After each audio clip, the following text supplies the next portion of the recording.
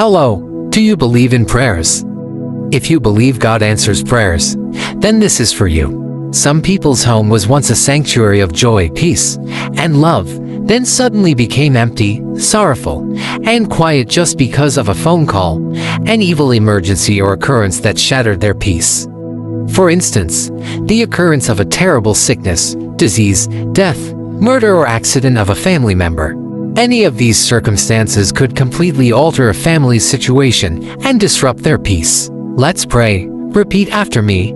Heavenly Father, please. In the face of life's uncertainties, I seek your shelter and grace for me and my family.